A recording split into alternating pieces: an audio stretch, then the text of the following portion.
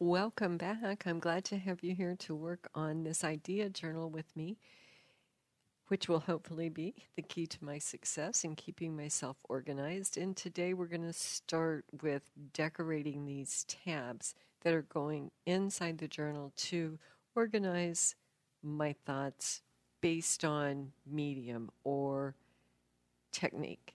So these are the next three that we will be doing. We're going to start with the clay tab. My name is Peg, and I call my channel Two Old Crows Mixed Media.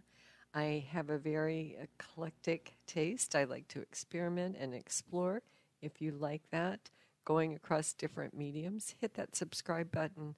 And of course, the notification bell lets you know when I upload additional content. There are other places you can find me on the web, my website, Facebook group, and of course, Instagram. So, this is the cover of that book. We've decorated the two, the inside front and the inside back with two pockets. These are the tabs that we prepared in the first video with their background and kind of foundational piece to go inside this book.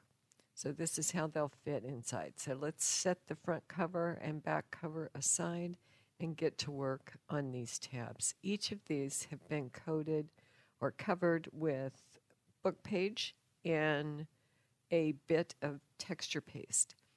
This magazine page has been lying in my house while my husband has read through it cover to cover, and I have really been attached to the front cover of this magazine page, and it actually is the inspiration for the colors that I'm using on this journal.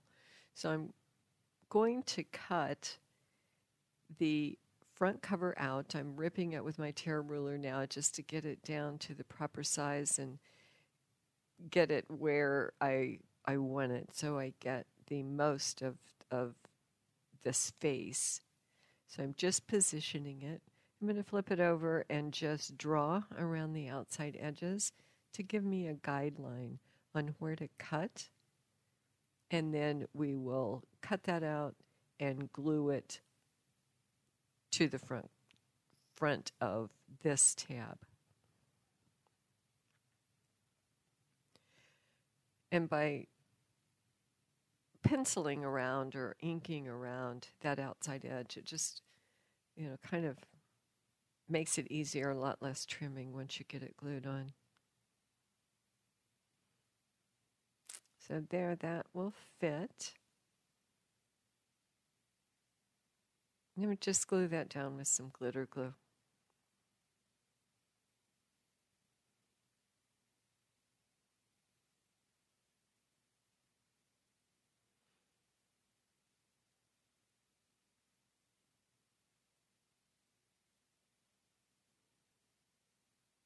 And there, now I'm going to flip it over and just trim off any excess that is tipping out across the edges. And we'll be good to start decorating.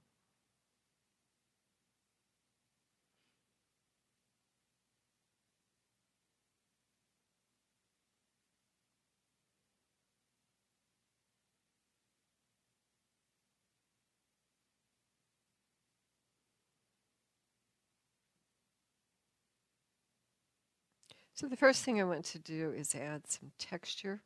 I'm pulling a stencil out and the texture paste. I'm going to just grab some of that texture paste on this hotel key card and just drag it through that stencil. And I want to cover up the words that were on that magazine cover. I just want the face. So this is going to be my first step in disguising some of those title tags that were on the uh, magazine cover. And there we go. So we'll let that dry. And I'm wanting to add quite a bit of texture to this book. So I am cutting out some cheesecloth that has been tea stained. or coffee stained. I believe I used coffee to stain that. And I'm just cutting that to size, just kind of feeling out what I want to do, and I'll lay that aside. Once the texture paste is dried, I'm going to take a sandpaper and lightly coat over the top of it to, you know, rid myself of any pieces that might not be adhered right. And now I'm just dragging some of that color with the hotel key card across that texture paste. And I chose to use that raw umber. I'm just going to go ahead and coat a few more of these while I have some paint left.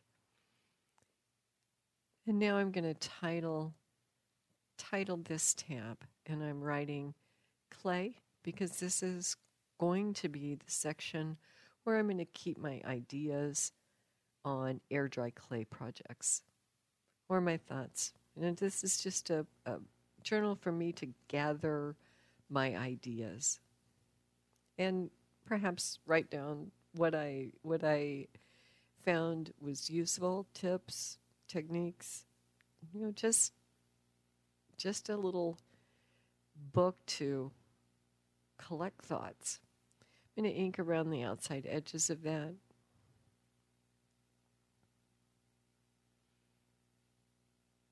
Just stress it a bit with that vintage photo. And we'll set that aside for a minute until we, we finish here coming back with some yellow ochre after that first coat of paint had settled in and dried a bit.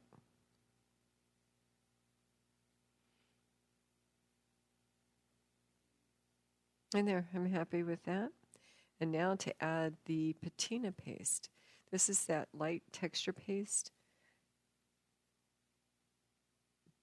that creates that patina effect. And I am just rubbing that on with my fingers and setting that aside and letting it to cure out and dry.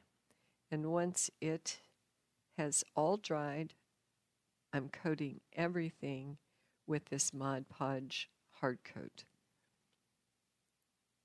I really like the finish that gives, and this is the finish I'm using for this particular project. Now that that's dry, I'm going around the outside edge with the black ink just to frame everything in. And that hard coat Mod Podge gives this a real substantial feel. And now let's put the cheesecloth into place. Our title tag, clay up there atop. And let's add some cheesecloth onto the back as well.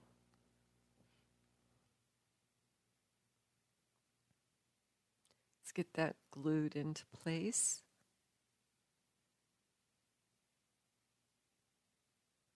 Trim it up a bit, fray out those edges so we get those nice threads. And that's how it'll look tucked down inside this journal.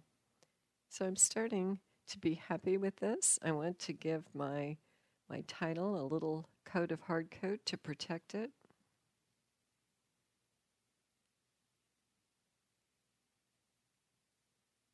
I'm just looking it over, trying to decide what to do. I think it needs a little more. I think I'm going to put some inspirational quotes from artists on here. This one is by Einstein. It says, Creativity is intelligence, having fun. I like that one.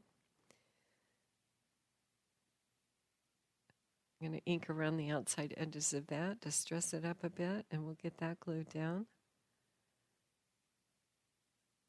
There we go. I like it placed vertically.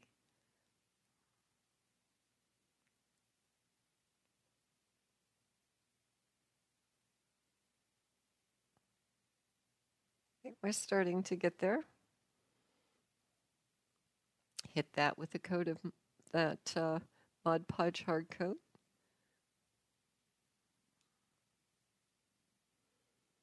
And now I'm going to add a grommet on that outside edge. So I'm getting out my, I can't think of what that's called right now, Crop-A-Dile, getting that Crop-A-Dile out, putting the hole in and then putting the grommet in and switching that over to press that grommet into place.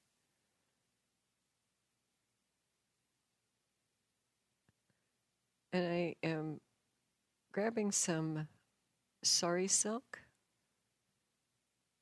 that I'm going to tuck through that little hole and just loop through.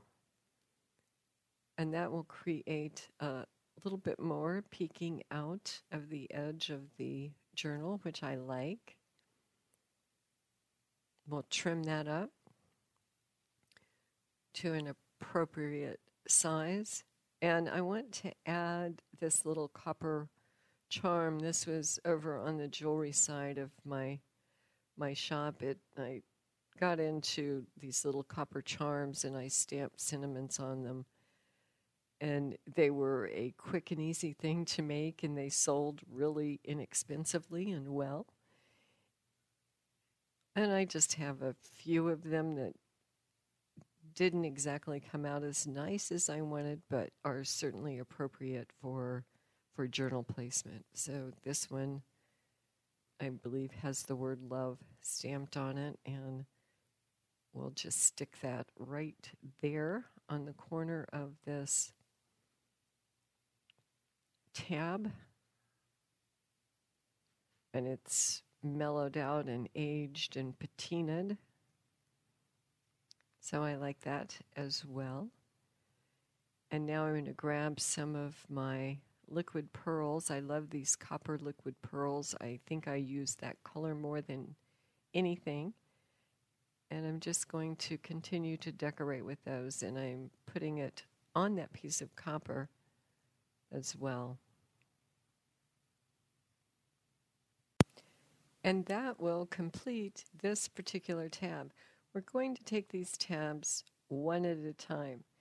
This is the clay tab We'll be working on gel press and caustic medium and other techniques or other ideas. We'll take them one at a time to not overwhelm you with all of them in one video. The next one up is going to be this one for gel press. I hope you'll come back and join me. Once again, I want to thank you for being here. Thank you for subscribing. We just hit 2,000 subscribers, so I'm very grateful for that and very thankful. If you'd like to join me in the Facebook group, come on over and uh, you know join that community as well. I appreciate it. Love your comments. The likes always help me. So once again, very appreciative. Thank you and bye.